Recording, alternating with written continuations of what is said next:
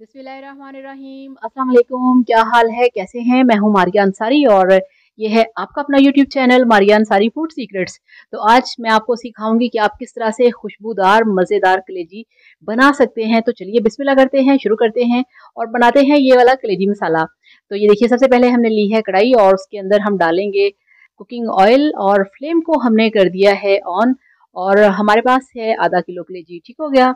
जैसे ही ऑयल गर्म हुआ और ये देखिए, एक खाने का चम्मच इसमें हमने डाल दी है, तली हुई प्याज। तली हुई प्याज डालने का सबसे बड़ा फ़ायदा ये है, ये देखिए प्याज के छिलके, ये बिल्कुल प्योर प्याज है, ठीक है ना? इसका सबसे बड़ा फ़ायदा ये है कि आपका टाइम बचेगा और जो आप कहते हैं ना कि ग्रेवी या शोरबे में या मसाले के अंदर साबुत प्याज नज़र आते हैं, तैरते हुए वो नज़र नहीं आएँगे। तो इस तरह से आपने ऑयल के अंदर थोड़ा सा आपने ये डाला, तली हुई प्याज को, उसके बाद आपने इसमें डाल दिया दो से तीन टेबल स्पून पानी, क्योंकि ये पानी के अंदर घुलता है, ठीक है? तो इसके साथ ही जब इसमें बॉयल आना शुरू हो गया, आपने इसमें डाल देने हैं तीन टमाटर।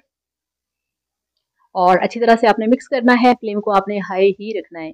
और यहाँ पे इसमें हम डाल देंगे चार से पाँच हरी मिर्चें, जिसकी डंडी उतार के कट लगा के अंदर से आपने चेक कर लेना है, कहीं कोई मिर्ची अंदर से ख़राब ना हो। ठीक हो गया, अब यहाँ पे इसमें हम ऐड करेंगे पाउडर मसाले। तो सबसे पहले इसमें हम डालेंगे, ये देखिए, एक टेबल स्पून लाल मिर्च का पाउडर और यहाँ पे ऐड करेंगे एक चौथाई चम्मच हल्दी पाउडर एक चौथाई चम्मच काली मिर्च का पाउडर और हाफ़ टी स्पून डाल दिया है इसमें हमने ज़ीरा पाउडर और एक टीस्पून इसमें हमने डाल दिया है खुश्क धनिया पाउडर और यहाँ पे हमने डाल दिया है इसके अंदर थोड़ा सा गरम मसाला हाफ़ टी स्पून और ये देखिए, ये इसमें हमने डाला है हाफ़ टी स्पून अदरक का पाउडर हाफ़ टी स्पून लहसुन का पाउडर ठीक है, आप चाहें तो आप फ्रेश वाला भी यूज़ कर सकते हैं। और एक टीस्पून भर के डाल दिया है इसमें हमने कसूरी मेथी का। कसूरी मेथी जो होती है, ये मस्ट होती है मसालों इस तरह के कलेजी मसाले के अंदर डालना। ठीक है, सब मसालों को मिक्स करेंगे ऑयल कम है इसमें। थोड़ा सा और ऑयल डालेंगे, ये देखिए। और वीडियो देखने के साथ साथ आपसे रिक्वेस्ट है प्लीज़ चैनल को सब्सक्राइब कर लें। तो ये वाली रेसिपी ऐसी है कि ये सिंपल है, आसान है और बिल्कुल टेंशन फ्री है, इसे हर कोई बना सकता है। और यहाँ मसाले को हमने पाँच मिनट भून लिया। अब इसके अंदर हम डालेंगे कलेजी, जिसको मैंने सिरका लगा के अच्छी तरह से वॉश किया, इसको साफ़ किया। इसका सारा जो वेस्ट पानी होता है ब्लड होता है, वो सारा निकाल दिया, ठीक है? और इसको किस तरह से साफ़ करना है, पूरा मेथड क्या है, इस पर मैंने पूरा वीडियो बनाया है। जो कि बहुत जल्दी आपके पास आने वाला है, जिसमें ये चीज़ बताई गई है कि आप किस तरह से कलेजी को साफ़ कर सकते हैं और इसको खुशबूदार बना सकते हैं।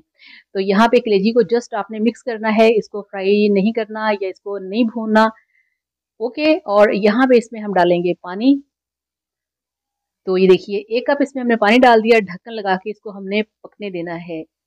थोड़ा सा मिक्स करेंगे। और ये जो कलेजी है, ये मटन की कलेजी है और आपको पता है कि मटन की कलेजी बहुत ही फ़ायदेमंद होती है और पानी मिक्स करके ढक्कन लगा के इसको स्लो फ्लेम पे 15 मिनट पकने देंगे। तो ये देखिए, बिल्कुल स्लो फ्लेम पे मैंने इसे पकाया है 15 से 20 मिनट और दरमियान में मैंने चम्मच को हिलाया था और यहाँ पे आप चेक करिए कितना अच्छा मसाला, कितना मज़े का ग्रेवी जो है वो बन चुका है। ये कैसे मुमकिन हुआ है? ये मुमकिन हुआ है तली हुई प्याज की वजह से। तो इस तरह से ये सिंपल रेसिपी है, आसान है, इसे हर कोई बना सकता है। और ये देखिए, एक टेबल स्पून इसमें हम डालेंगे नमक एंड पे तो एंड पे नमक इसलिए डालते हैं कि जो कलेजी होती है, ये सॉफ्ट बनती है, ठीक है? अगर आप स्टार्टिंग में डाल देंगे तो थोड़ी सी कलेजी हार्ड हो जाती है। तो ये भी इसका एक टिप है कि आपने इसे एंड पे डालना है।